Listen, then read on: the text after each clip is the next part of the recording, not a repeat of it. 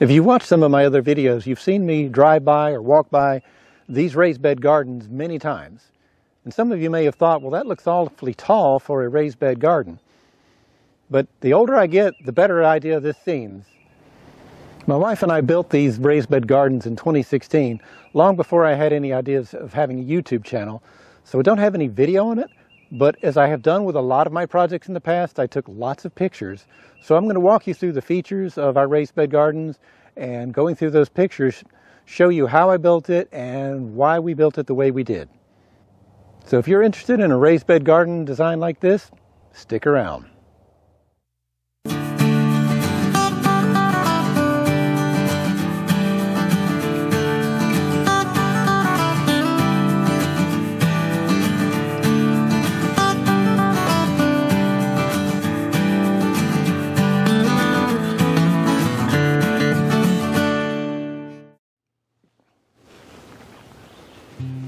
Now you can make your raised bed garden any heights you like based on the width and number of boards you use from the ground up.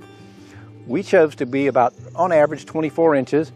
We're on uneven ground here so it does vary anywhere from 24 inches on this end to 29 inches on that end.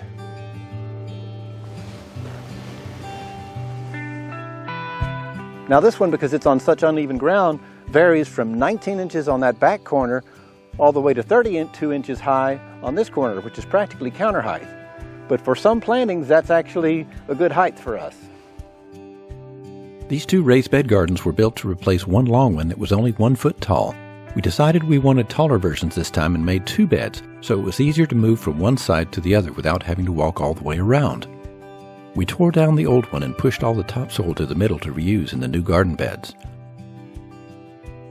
All the wood used is pressure treated, starting with the 4x4 inch posts that support the 2x8 boards. These posts are buried in the ground between 12 and 16 inches deep, depending on whether we hit rock or not.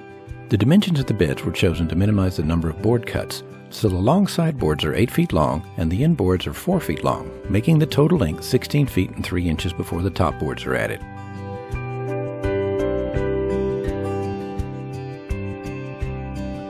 The spacing between the posts is 4 feet. Coated 3-inch deck screws are used to attach the sideboards to the post and to attach the inboards to the sideboards.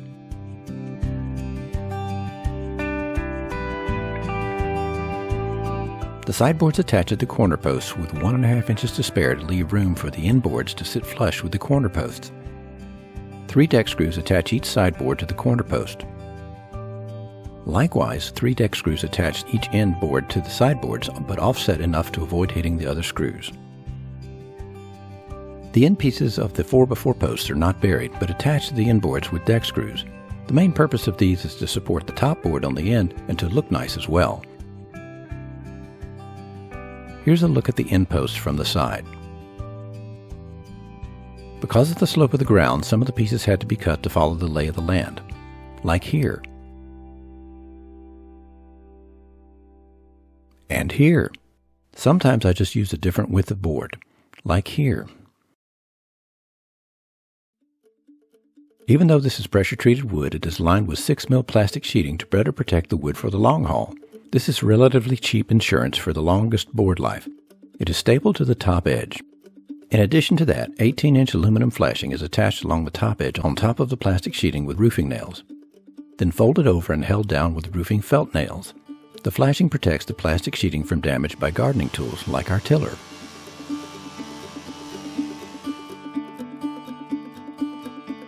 Since the sideboards may warp, I toe nailed them together with nails between the posts, first pre-drilling the holes to avoid splitting the wood,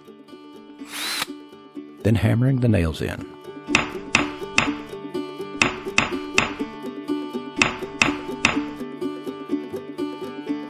A little flat black paint on top of the flashing for the hell of it, and it's time for the top boards. They are made from 2x6 pressure treated lumber with 8 foot lengths in the middle to add rigidity where the sideboards meet in the middle. If I had to do it over, I'd stagger the sideboards so they didn't all join in the middle. The other side pieces are 4 feet long. The end top boards are 4 feet 7.5 inches long with the corners cut to 45 degrees. All of the top boards are attached using 3 inch deck screws. Here's a look at where the deck screws are placed on the corners.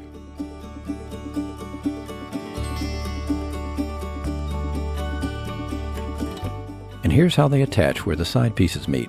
Position to avoid hitting the screws holding the sideboards on.